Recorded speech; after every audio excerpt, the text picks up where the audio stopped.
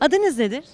Metin Yılmaz, Nerelisiniz? Malatyalı, Nerede ikamet ediyorsunuz? Avcılar'da. İlçe belediye başkanını tanıyor musunuz? İlçe belediye başkanlığı, e, Avcılar Belediye Başkanı. Tanıyorum Tu, Turan'ı. Avcılar Belediyesi'nde memnun kaldığınız ya da şikayetçi olduğunuz hizmetler nelerdir? E, şikayetimiz yok yani. Gereken neyse yapılıyor. Temizlik olsun, her şey olsun gayet en iyi şekilde itinalı olarak yapılıyor.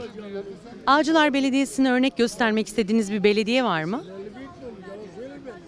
Başka belediye olarak mı? Başka belediye olarak Bakırköy Belediyesi olabilir. Büyükşehir Belediye Başkanı'nı tanıyor musunuz? Tanıyorum. Ekrem İmamoğlu'ndan çok memnunuz. Dileriz ki uzun süre kala ve hizmetlerini yapsın.